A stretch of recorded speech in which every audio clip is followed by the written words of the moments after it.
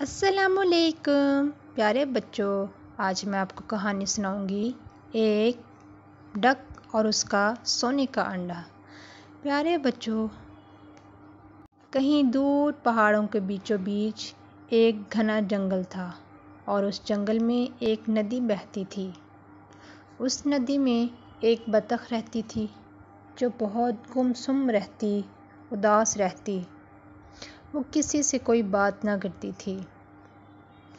उसी नदी में एक मछली भी रहती थी।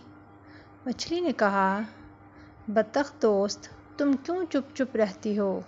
तुम किसी से बात क्यों नहीं करती? मुझे बताओ, तुम्हें क्या परेशानी है?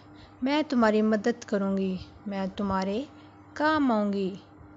बतख ने कहा कि बतख ने कहा, कि मेरा सारा ख़ानदान मुझे छोड़ के कहीं दूर चला गया है। मैं इसलिए उदास रहती हूँ। मछली ने पूछा, आखिर क्यों? वो सब तुम्हें अकेला छोड़ के क्यों चले गए? बतख ने कहा, कि मेरे से एक गलती हो गई, जिसकी वजह से उन्होंने मुझे अकेला छोड़ दिया। मैं सोने के अंडे दिया करती थी। अब मैंने एक गलत काम किया है, उसकी मुझे सज़ा मिली है, जिसकी वजह से अब मेरे अंडे सोने के नहीं होते। मछली ने कहा, क्या हुआ है? उसने कहा कि मेरी एक सांप से दोस्ती हो गई, और सांप ने मुझे कहा कि तुम चोरी करो। अब मुझे चोरी करने की सज़ा मिली है, और मेरे अंडे सोने के नहीं होते, इसीलिए मुझे सबने छोड़ दिया है।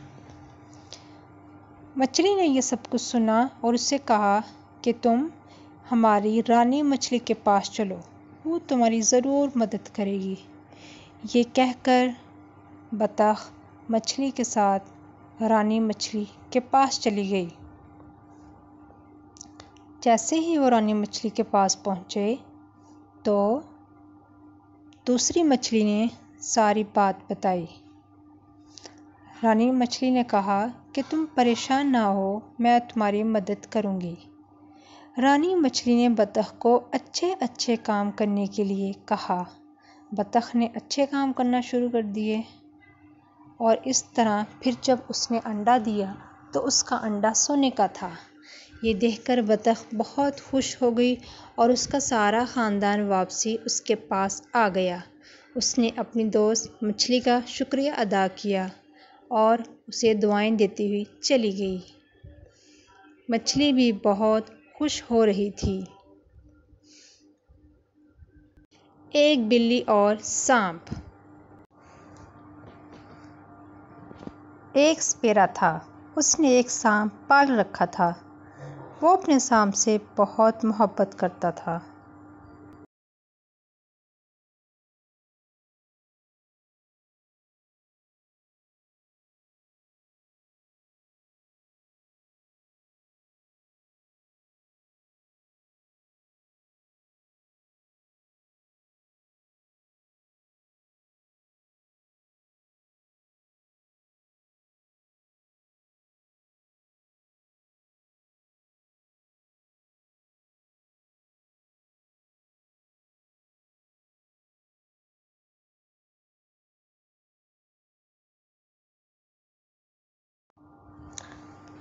एक स्पेरा था। उसने एक सांप पाल रखा था। वो अपने सांप से बहुत प्यार करता था। वो सांप का डांस दिखाकर लोगों से पैसे इकट्ठे करता और उन्हीं पैसों से वो अपना घर चलाता। वो अपने सांप को रोज़ ढेरों दूध पिलाता। सांप भी अपने मालिक से बहुत ज़्यादा खुश था। एक दिन वहाँ एक बिल्ली आ गई। स्पेरे ने बिल्ली को देखा कि वो बहुत भूखी है। भूख से मारा मारे फिर रही है। सांप ने बिल्ली को दूध दे दिया। बिल्ली ने पेट भर के दूध पिया और बहुत खुश हुई। दूध पीकर वो उधर ही सो गई। स्पेरे को बहुत अच्छा लगा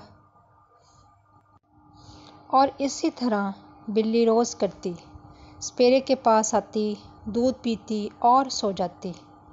अब सांप को ये बहुत बुरा लगने लगा कि मेरा मालिक का सारा ध्यान इस बिल्ली पर हो गया है।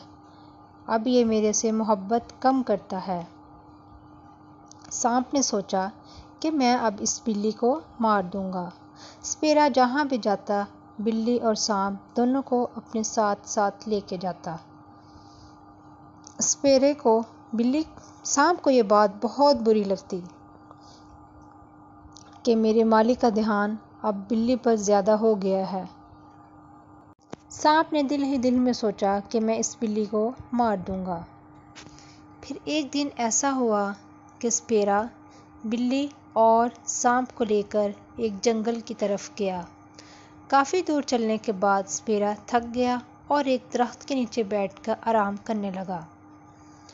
सांप भी स्पेरे के साथ बैठ गया। बिल्ली और सांप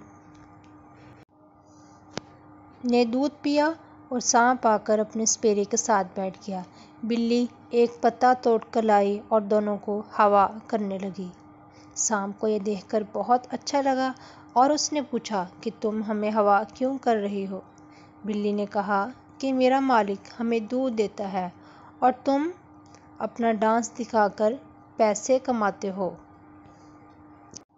इसलिए तुम दोनों की खिदमत करना मेरा फ़र्ज़ बनता है। इस तरह शाम को बिल्ली से मोहब्बत हो गई और उसने बिल्ली को अपने मारने का ख्याल अपने दिल से निकाल दिया और बिल्ली और सांप अच्छे दोस्त बन गए और हमेशा वो साथ साथ रहने लगे। इस तरह सपेरा भी बहुत खुश रहने लगा। अब उन दोनों की दोस्ती बहुत अच्छी हो गई थी। एक जंगल में एक किसान रहता है अपनी बीवी और बच्चों के साथ। वो बहुत हँसी खुशी ज़िंदगी गुजार रहे थे। किसान जानवरों से बहुत ज़्यादा प्यार करता। जंगल के सभी जानवर भी उससे बहुत प्यार करते थे। किसान की एक बीवी, उसका नाम राधा था। और एक बेटा, उसका नाम मुन्ना था। वो तीनों हँसी खुशी ज़िंदगी गुजार रहे थे। एक दिन किसान ने अपनी बीवी से कहा कि, मैं काम पर जा रहा हूँ, तुम दरवाज़ा बंद कर लो। ये कहकर किसान ने दरवाज़ा खोला और बाहर निकला। उसने देखा कि सामने एक हाथी पड़ा है, जो कि बहुत बीमार है। किसान फ़ौरन उसके पास पहुँचा, उसकी देखभाल करने लगा। वो छोटा सा हाथी बेहोश पड़ा हुआ था। किसान ने जल्दी से अपनी बीवी को बुलाया और उसे कहा कि पानी लेकर आओ इसके लिए दवाई लेकर आओ। वो उसे उठा के अपने अंदर ले आए और उसकी बहुत अच्छे से देखभाल करने लगे। कुछ ही दिनों में हाथी बिल्कुल ठीक हो गया। और नन्ना, मुन्ना सब बच्चा उस हाथी के साथ खेलने लगा। हाथी के बच्चे की और मुन्ने की बहुत अच्छी दोस्ती हो गई थी। ये देखकर किसान ने अपनी बीवी से कहा कि देखो, ये दोनों कितने मज़े से खेल रहे हैं। किसान की बीवी ने कहा कि हाँ इन दोनों की बहुत अच्छी दोस्ती हो गई है। किसान अपने काम पर चला जाता है इतने में। राधा की दोस्त शमा आ जाती है।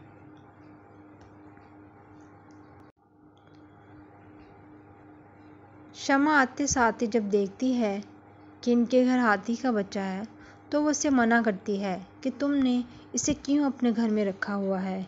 ये बहुत ख़तरनाक भी हो सकता है। ये तुम्हारे बच्चे को मार देगा। तुम्हें इसे घर में नहीं रखना चाहिए। ये इस शमा की सारी बातें सुनकर राधा का दिल भी ख़राब होने लगता है और वह सोचती है कि आज जब किसान वापसी आएगा तो मैं उसे कह दूँगी कि इसे जंगल वापसी छोड़ आए। ये कहकर राधा की दोस्त शम्मा वापसी चली जाती है और राधा का दिल हाथी की तरफ़ से बहुत ख़राब होने लगता है। वो सोचती है कि आज जब किसान वापसी आएगा तो मैं उसे कहूँगी कि हाथी को वापसी जंगल छोड़ आए। जैसे ही किसान वापसी आता है तो राधा उससे बात करती है कि तुम इस हाथी को वापसी जंगल छोड़ आओ। किसान कहता है कि ये तुम क्या कह रही हो? मैं इसे इतने छोटे हाथी को कैसे छोड़ सकता हूँ? राधा नाराज़ हो जाती है। किसान के पास कोई और रास्ता नहीं होता। इसलिए वो मजबूरन हाथी को वापसी जंगल छोड़ने चला जाता है। अभी वो कुछ ही दूर जा रहा होता है कि पीछे अचानक से घर को आग लग जाती है और उस लम्हे राधा घर से बाहर होती है। और वो शोर मचाती है कि हाय, मेरा बच्चा, मेरा मुन्ना अंदर है। कोई मुझे बचाओ, कोई मेरी मदद करो। ये सुनकर किसान वापसी मुड़ाता है। और वो भी मदद के लिए पुकारता है। वहाँ कोई और नहीं आता। सिर्फ़ वो हाथी होता है। जल्दी से अंदर जाता है और मुन्ने को लेके बाहर आ जाता है।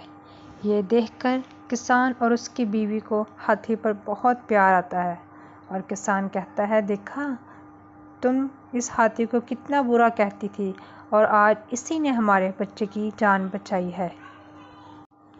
इस तरह राधा को अपनी गलती का एहसास हो जाता है और वो बहुत शर्मिंदा होती है। फिर हाथी बना मुन्ना का रखवाला और उन दोनों की बहुत अच्छी दोस्ती हो गई। एक मुर्गी और इसके तीन बच्चे। एक मुर्गी अपने तीन बच्चों के साथ रहती थी। वो अपने बच्चों के साथ दाना दुनका चुग रही थी। अचानक से एक बच्चा दूर हुआ और वो एक गड्ढे में गिर गया। जैसे ही मुर्गी ने देखा तो ज़ोर ज़ोर से चिल्लाना शुरू कर दिया। हाय मेरा बच्चा घड़े में गिर गया, कोई मेरी मदद करो। वो इस तरह चिल्ला रही थी कि मुर्गी का मालिक आ गया। उसने पूछा, क्या बात है? क्यों चिल्ला रही हो? जैसे ही मालिक ने देखा गड्ढे की तरफ़ तो उसके अंदर मुर्गी का एक छोटा सा बच्चा था। मालिक ने बड़े प्यार से उसे बाहर निकाला और उस गड्ढे को हमेशा के लिए बंद कर दिया। मुर्गी ये देखकर बहुत खुश हुई। कुछ ही दिन गुजरे कि मालिक को पैसों की ज़रूरत थी। वो मुर्गी के पास आया और उसने मुर्गी से कहा कि मुझे कुछ पैसों की ज़रूरत है, मैं बहुत परेशान हूँ। अगर तुम कहो तो मैं तुम्हारे बच्चे बेच देती हूँ। इससे कुछ रकम मिलेगी तो मेरा फ़ायदा हो जाएगा। मुर्गी मान गई, क्योंकि मुर्गी अपने मालिक से बहुत प्यार करती थी।